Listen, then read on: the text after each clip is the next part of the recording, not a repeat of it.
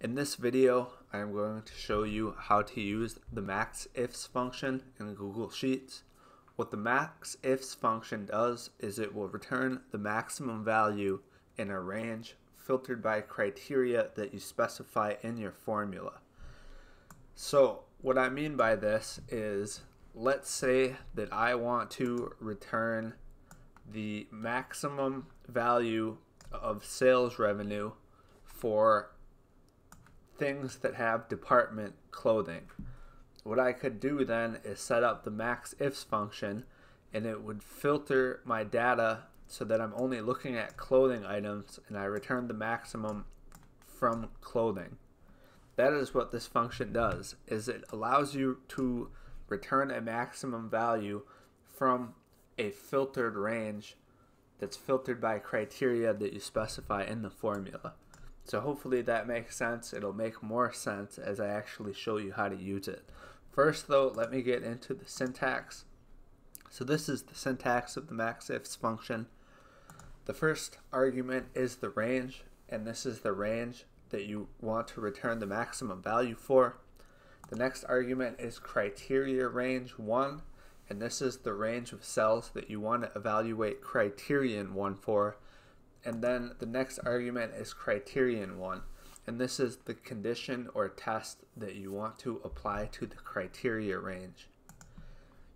Now you can also add in additional criteria ranges and criterion, but these are optional, so you only need the first one. If you want to apply more, you can, but again, those are optional. Now, a couple important notes about using this function that you need to know the function will return 0 if none of the criterion are satisfied. And another thing is the range and criteria ranges need to be the same size, otherwise you will get a value error. Now this seems more complicated than it really is.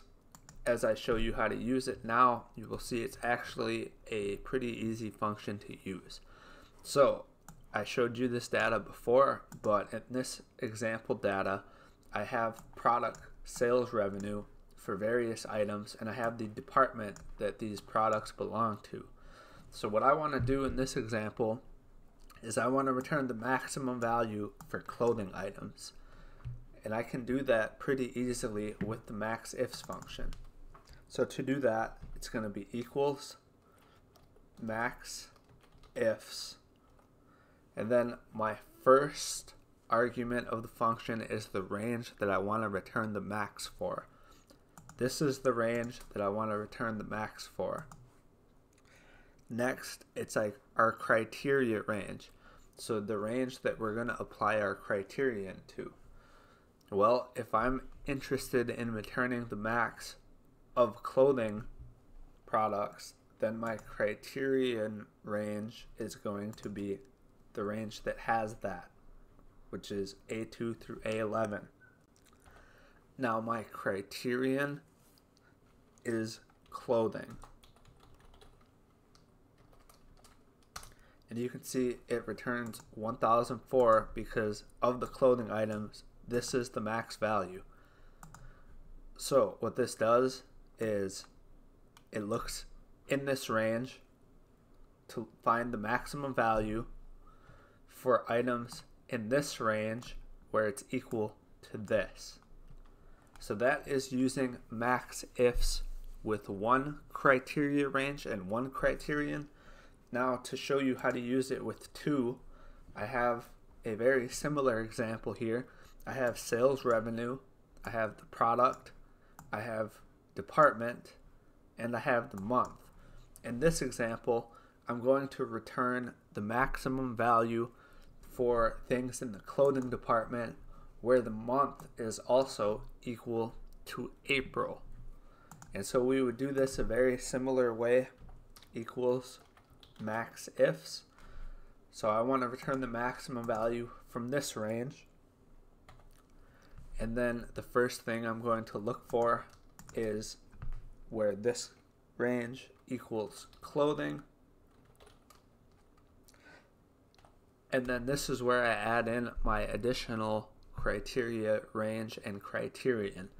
So my next criteria range is going to be this, and we're going to do things where the month is equal to April.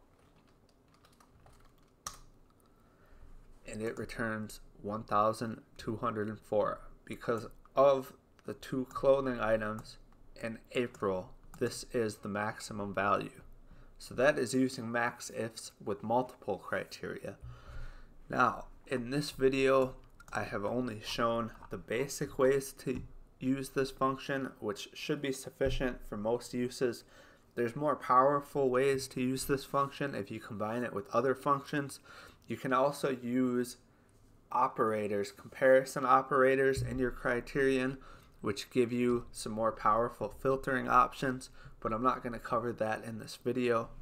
If you have any questions, just let me know in the comments.